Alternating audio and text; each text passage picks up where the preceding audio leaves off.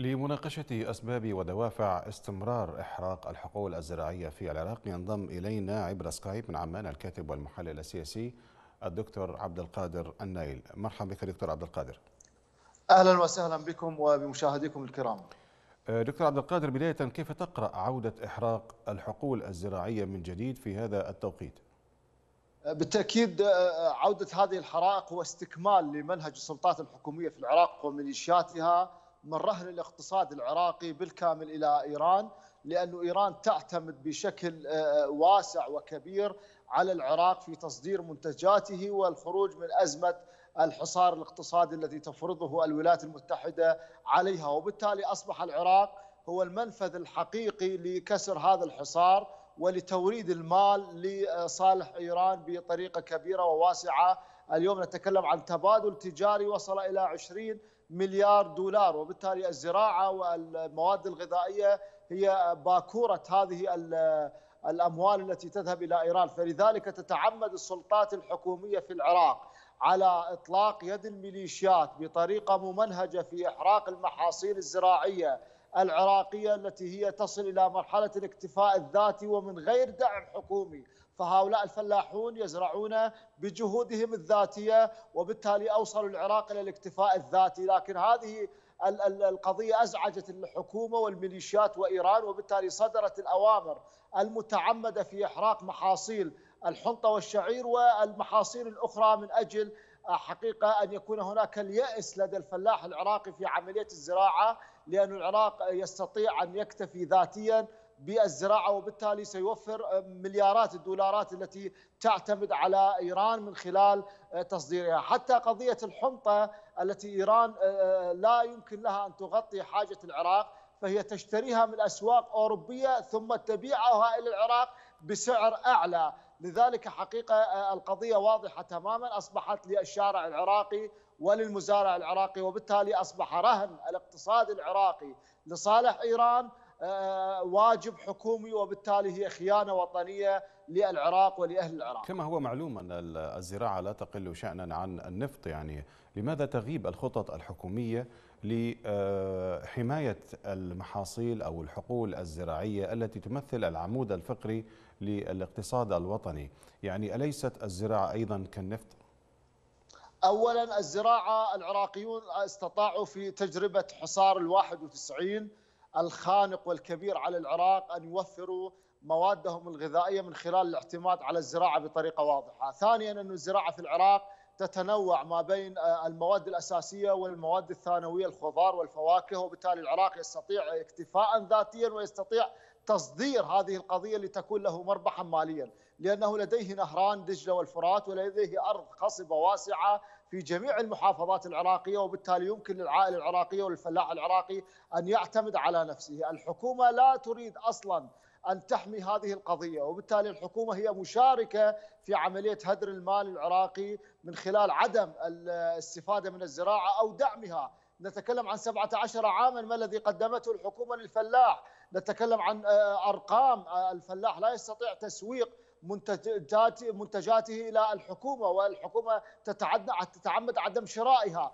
فضلا عن ما يجري الآن من تعمد من إحراق ومن غيره لأنه نتكلم عن مزارعين يرمون الخضار في الشوارع رأينا في البصرة وفي صلاح الدين وفي مناطق أخرى لعدم سماح الحكومة وسيطراتها الحكومية من وصول سيارات الفلاحين إلى مراكز العلوى الرئيسية لبيعها للمواطنين، لذلك الحكومة تشارك في عملية جريمة إخفاء الزراعة والاعتماد عليها بطريقة واضحة وهي تريد الاعتماد على الاقتصاد الإيراني وهذه ليس فقط الزراعة، نتكلم عن 15 ألف مصنعا إلى هذه اللحظة هو مغلق وبالتالي يمكن أن يوفر 500 ألف وظيفة للعراقيين بما معنى أن انتشال 500 ألف عائلة عراقية توفر لديها أقل تقدير شخصا موظفا. يمكن أن يجني مال ومن دون الاعتماد على المال العراقي بطريقة لأن المصانع هي منتجة وموفرة للوظائف ومربحة. طيب. دكتور عبد القادر يعني هناك مطالبات إيرانية بفتح الحدود مع العراق وهناك ضغوط من شركاء العملية السياسية بفتح هذه الحدود وعدم إغلاقها يعني على العكس من باقي الدول المجاورة للعراق على عكس السعودية الأردن كذلك تركيا. يعني الأمر أصبح طبيعيا إغلاق الحدود بسبب هذه الجائحة والظروف الخطيرة التي تمر بها أو يمر بها العالم أجمع. هذه المطالبات الإيرانية بفتح الحدود واستمرارها مفتوحة مع العراق هل لها علاقة بإحراق الحقول الزراعية لا سيما المحاصيل المهمة جدا والتي تعتبر قلب الاقتصاد كالحنطة والأرز والشعير؟ من المؤكد تماما لها علاقة مباشرة لأن إيران هي من أصدرت أوامر لهذه الميليشيات بحرق المحاصيل الزراعية واليوم نتكلم يعني عن 46 ألف دونم تم إحراقه هناك أرقام وهناك مناطق حقيقة لم يرصدها الإعلام وبالتالي أحرقت هذه المزارع لذلك والحريق مستمر حقيقة هذه الجريمة لأنه الجاني هو محتمي بهذه السلطات الحكومية وينفذ توجيهات إيران.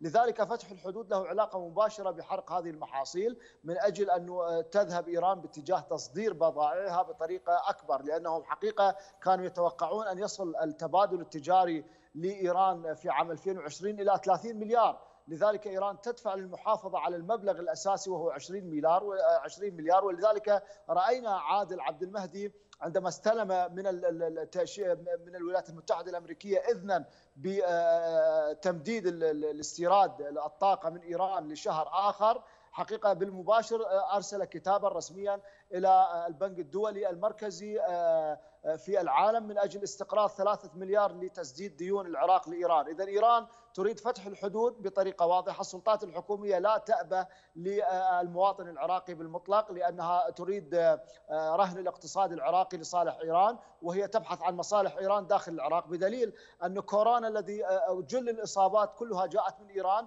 لم تراعي هذه القضية إلى هذه اللحظة. يعني بالأمس القريب وهذا اليوم لماذا الأمس القريب وصل عدد المصابين بكورونا 91 إصابة منها 35 في البصرة بسبب شخص كان موجود في إيران ودخل الحدود. وثانيا نقولها بصراحة ما الذي قال أن الحدود العراقية الإيرانية مغلقة تماما؟ لا يوجد هناك أي إغلاق لهذه الحدود. بالمطلق؟ نعم هناك مطالبات إيرانية بإبقائها مفتوحة إلى الآن وهناك أيضا من شركاء العملية السياسية من يضغط بهذا الاتجاه وعدم إغلاق الحدود.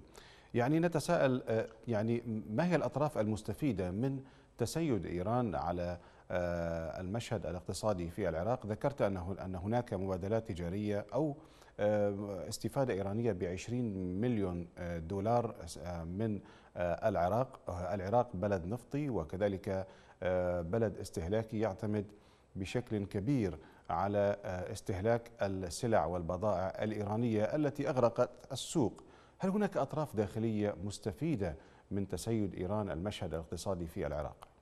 من المؤكد تماما أنه العشرين مليار وليس مليونا مليار حقيقة هي الفائدة الحقيقية التي تجنيها إيران من العراق فضلا عن التهريب المخدرات وما إلى ذلك من الأمور الأخرى.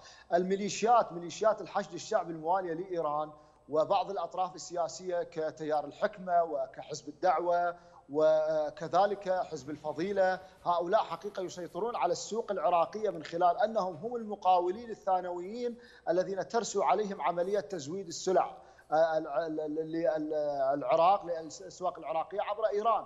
لذلك هؤلاء حقيقة يتربحون أيضا ماليا. من خلال التجار المرتبطين والمكاتب الاقتصادية المرتبطين بهم.